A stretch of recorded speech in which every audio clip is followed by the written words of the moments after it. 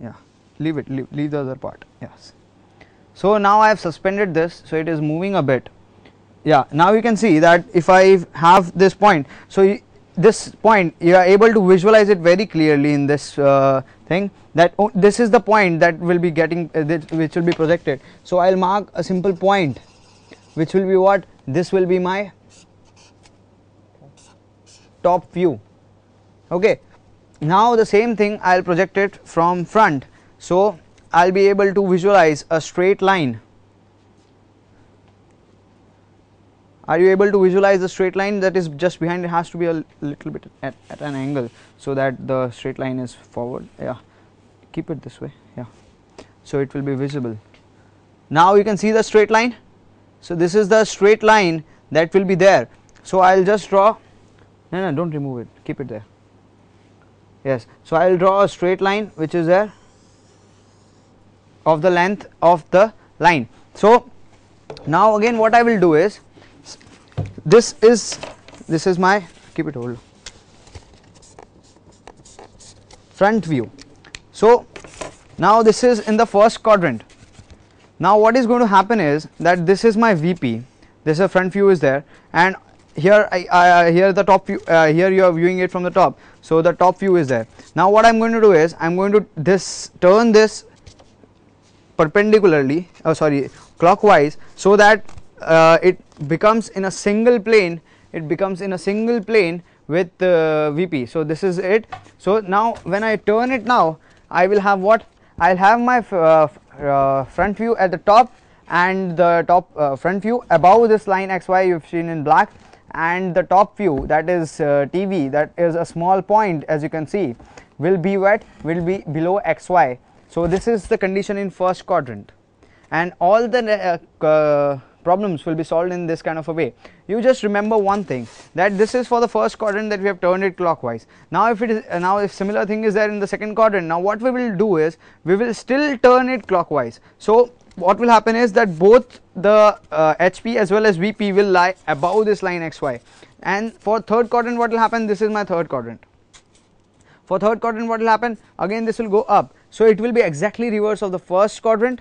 And for the fourth quadrant what will happen is that it will be exactly reverse of the second quadrant that both of my points that is HP and VP will be below my line XY that we uh, that we discussed in uh, the uh, projection of points also. Uh, so, this thing is similar between the projection of points as well as projection of line. Okay. So, if you see in the slide this will be your final answer. This is in the first quadrant. Now, if I draw it in the second quadrant what will happen is same question for my second quadrant will look something of this sort a dash b dash is the line that is my front view and ab is the only dot that is the top view. Both will lie in what? Both will lie in above x y. Then for the next condition line perpendicular same condition. The thing is that it is in the third quadrant. So what will happen is my hp will go up. My top view will be that point AB as shown. And my line the uh, vertical projection that is my front view will be A dash B dash in the uh, bottom uh, below xy.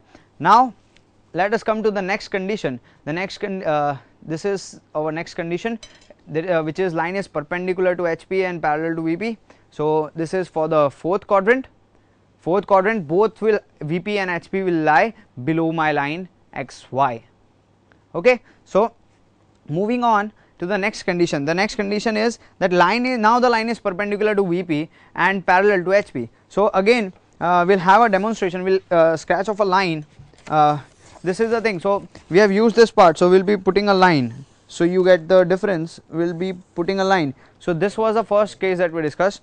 Here we will be discussing the second case. Here we will discuss the second case. And finally here we will discuss the third case. Okay. So please go on and explain the second case to them. Again we are will do it in the first quadrant. And then uh, similarly you guys can follow up with the second and uh, second third fourth quadrants. Line is perpendicular to vp and parallel to hp so that when you are seeing from this side that means that its front view gives you point. When you are observing on this side that means that its top view gives you the length of the line. So what will be the difference now? Now if i draw the front view and the top view so what will happen is the comparison would be there. Now this would be the point. This will be only a point which here which will be what? Which will be my front view. And here I'll have a straight line which will be my top view. So you will be able to understand again I'll do the same thing and turn this out like this. So here you are able to view the different cases. See here this is the first case. In this case I had what? I had my line parallel to HP and perpendicular to VP uh, sorry I had my line parallel to VP and perpendicular to HP this is my second condition which this is my second condition in which my line is perpendicular to VP and parallel to HP so what I'll have we will see the figure first on the line. This is the figure with I'll have my vertical projection as a point and my uh, horizontal projection as a straight line which is depicted by this uh, second case which is there second case which is there on the line. So you can visualize this second case, this second case is the figure which is drawn on the slide. Now again what we will do is we will go for uh, the second quadrant and we will see that what is there in the second quadrant. The same condition. What happens in the second quadrant is both the points go up as they went in the uh, as they went in the first condition also. So both the points went up.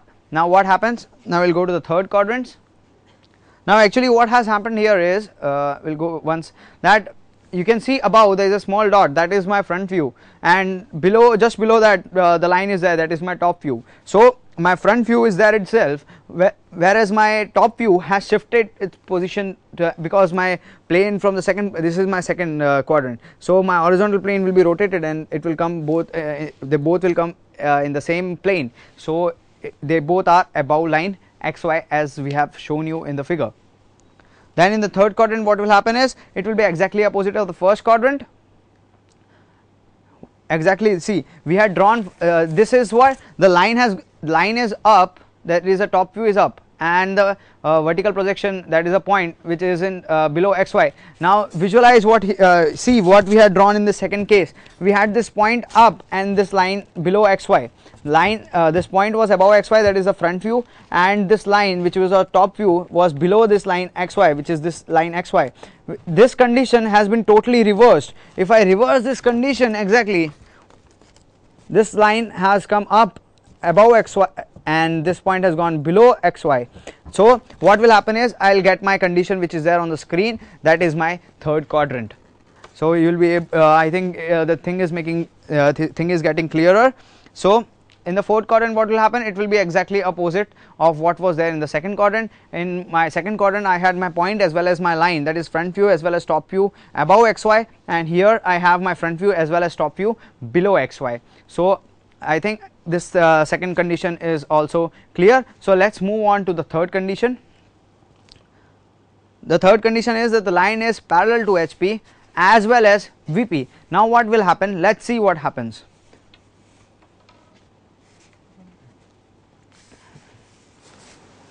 Yes, please. Line is parallel to HP as well as parallel to VP. That means that that there is a point on profile plane. Whenever you see from this side that means that you see from the front side you got the line. As well as you see from the top side you got the line. So that you got in both case the line. And the point is marked on the profile plane. The profile plane uh, can be uh, we can show it better using this.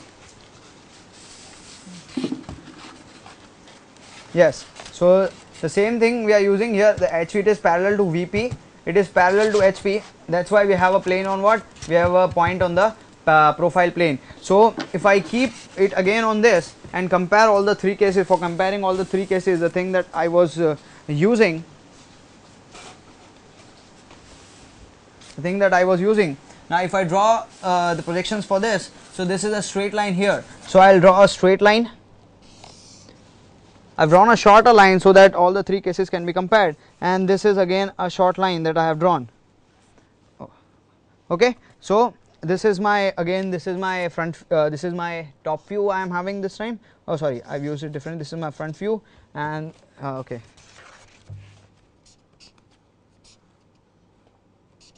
Okay. So again i have what? I have this. So this was my first case.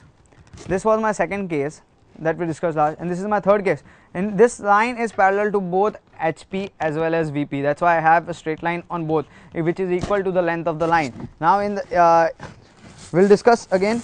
This was the first condition in which it was parallel to vp and perpendicular to hp so if a line is parallel to any plane then the true length of the line that is the length of the line will be the projection on that plane. And if it is perpendicular to the plane then it will be a final dot which is made even clearer on this second where it was it was uh, perpendicular to VP and parallel to HP. Perpendicular to VP so we have a dot that is a small point and here we have it parallel to VP that is why its top view is a straight line.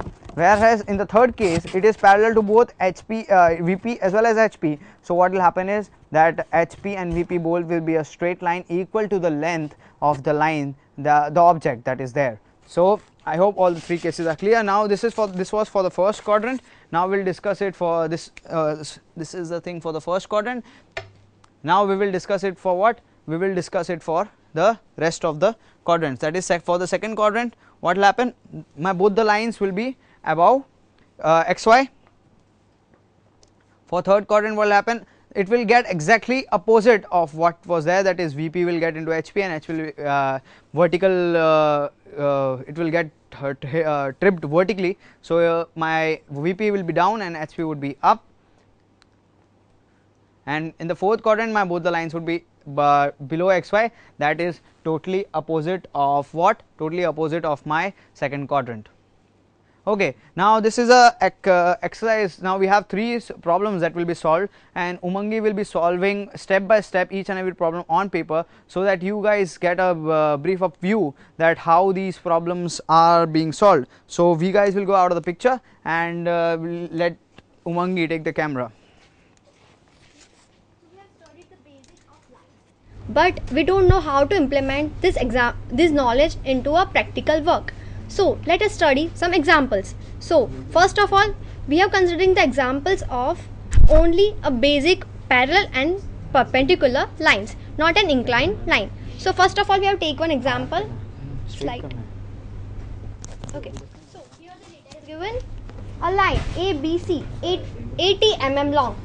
80 mm means it is the true length of a line. So given data, the first data is true length of a line. Second is perpendicular line is perpendicular to VP and 50 mm below HP which is the data and length of the line. Now point V 20 mm from A on VP. So it is also a data and point A lies in the fourth quadrant. Draw the projection of line ABC. Now we have studied that for the fourth quadrant if we draw an XY line okay if we will draw an xy line then the HP will be above the xy line. Okay? And the VP will be the below xy line.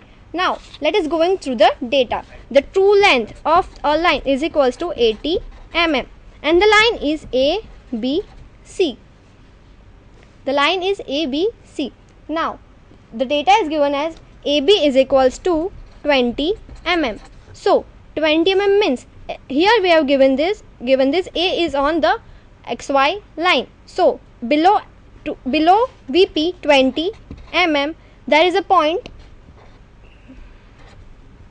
a. Here is given a is 20 mm below xy line. Okay? Now the length of line abc true length is 80 mm and the data bc is equals to 20 so BC is equals to 80 minus 20 is equals to 60 mm. Now consider A, B and C point. So this will be 60 mm. Okay. Now we have here, here the data is given as the line which we show as an elevation or the front view and the data of the elevation is 50 mm. Okay so when we so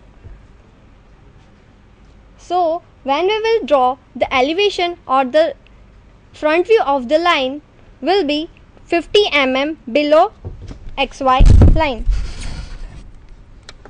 So here below xy line a 50 mm distance. Okay. Here we have marked that in VP when we show the elevation we notate as it as A dash, B dash and C dash. So this is the proper solution of an example. So you can refer this once again. Okay. When the point is in fourth quadrant, A point, B point and a C point and the front view of an line. Now let us consider a second example. Now, I will read the data. Line AB 50 mm long is perpendicular to the profile plane. Now, we have to draw a profile plane at once. This is a profile plane. Okay, now, and A is 20 mm below HP and 30 mm behind VP. So, it shows a location which is 20 mm below HP and 30 mm 30 mm behind VP.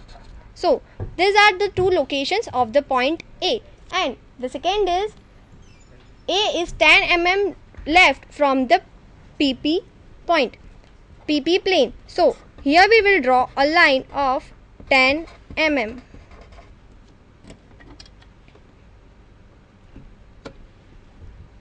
इस पे दिखाना